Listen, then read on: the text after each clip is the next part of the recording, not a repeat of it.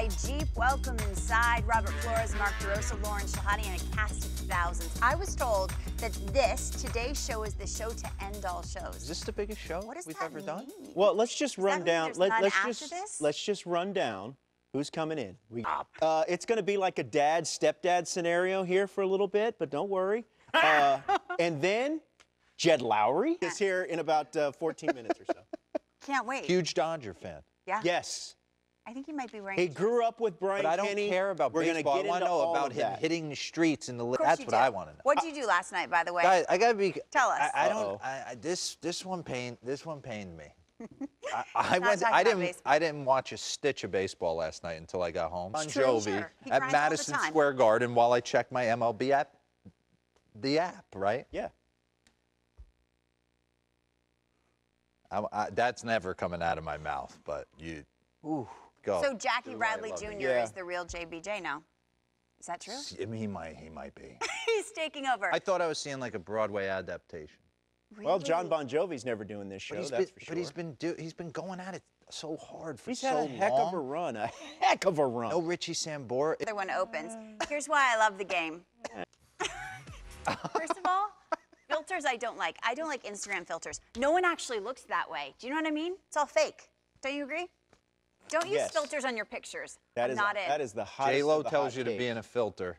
You got to do it. You're in a filter. Right? Giselle tells you to wear that outfit. You don't wear that outfit. No, I'm not wearing You it. Very like, good point. You know what? You like J Lo over Giselle. We're learning so much. Do you want your headlines? I I was struck by something you said yesterday going into this game. You said this is important for the Red Sox to win tonight, talking yesterday.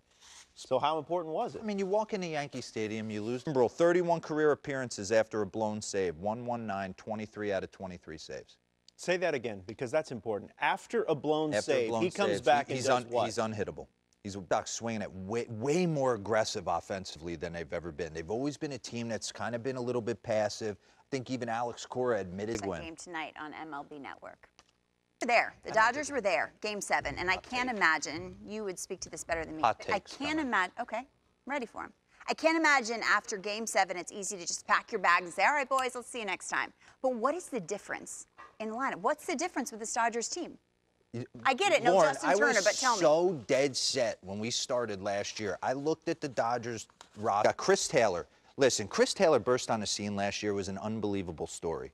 21 homers, playing a little bit of shortstop. He becomes their mm-hmm. center fielder. Easy sitting here for me to see what the problem is. A lot more difficult to change it, but five for 35 with the bases loaded. Not having productive at bats. The lineup seems like it doesn't have a lot of. Still sticking with the Rockies in the West? Yes. You? Diamondbacks?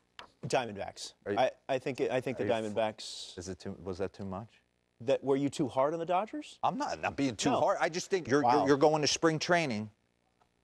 That, that is not not what Dave that. Roberts was thinking in his head. Now, he didn't know that Justin Turner was going to break his wrist and be out, and Corey Seager was going to have Tommy John. But this is the hand they're dealt right now. They have to find a way to play a little different brand of ball. Keith, what did you just tell me? Jansen, 23 batters faced this month? Two strikeouts. Yeah, that's a problem. Wow. Much more to come on the Dodgers talk.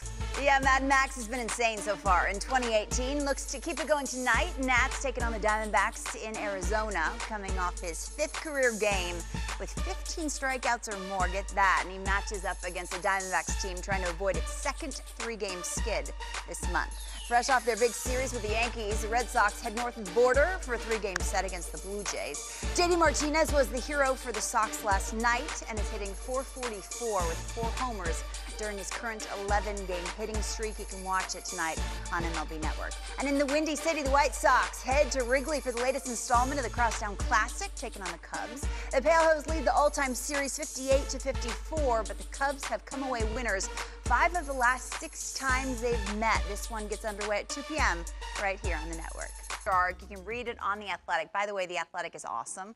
Great pieces, awesome to read. is. And this is one of them. Dero, you said you can't have your cake and eat it too with relation to shifts. but more action in the game. Tell us why. right. You know, this is really an interesting concept. So many people suggested to me the idea of the strikeouts. There you go. We solved it.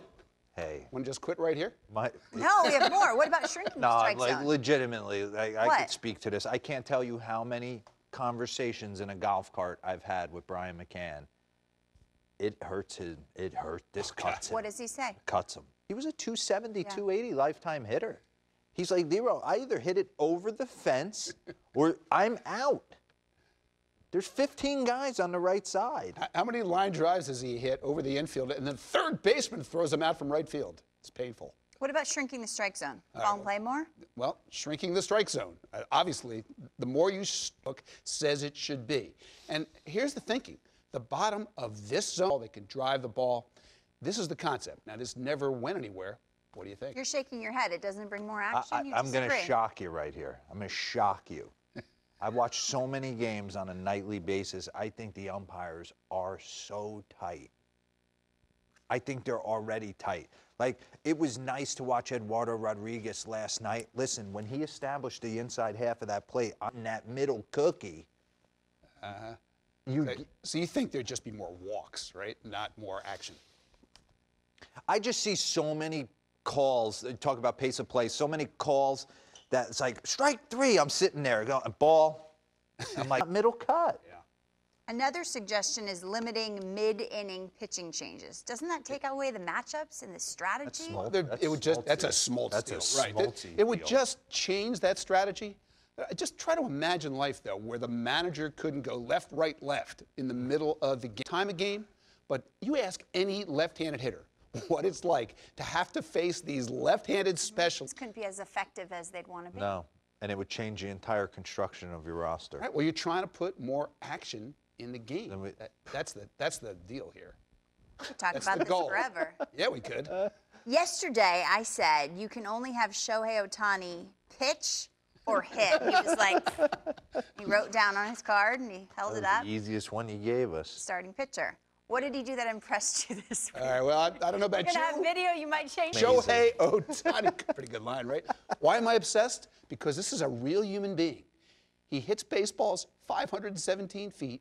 He throws a baseball 100 mi- 101 miles an hour. What? Now, do you meet anybody in your travels who does that besides him? No. I think the argument against would be, and I think Dan Plesac said it best, to be great at the plate, do you want him to take as much time in BP and outside as it would take to be some- good Maybe some away guys from don't He's got a maybe some guys thousand- are just better than He's other got a guys. thousand OPS. Maybe he he'll, he doesn't need the extra. Listen, one thing I'll You're a say when I what? no, no, you're back on him. I'm you like not a flip flop. I know you're not, but with him you are. You love him, and then It's uh, yeah, it's for TV. it's for TV. I'll take it. One thing I will say, I remember signing with the Chicago Cubs. Now, Wrigley Field's configurations have changed since then. But there was only one cage, and it was under the right field bleachers. And Derrek Lee said to me in spring training, You're going to find out how much you don't have to swing to still be a good hitter in the big leagues because you never had access to the cage. so, mid game, if you're pinch hitting, stone cold, here we go. Don't know what's going to happen, haven't swung because you can't get to a cage, right? So, I'm just saying, like, and you end up having kind of the same numbers. So maybe Shohei, does, better. maybe he doesn't need to swing so much. I repeat, he's got a thousand OPS as a hitter. He's all. You can't leave without giving us your trivia question. Yeah, it's trivia Oh, time. okay. All right, we've got All right, two let's shorts in.